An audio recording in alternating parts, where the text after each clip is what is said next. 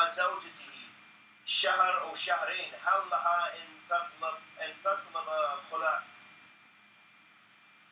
لها ذلك لها ذلك لأن هذا الأمر هو المقصود من النكاح عند النكاح فإذا لم يقم بهذا المقصود وطلبت الخلع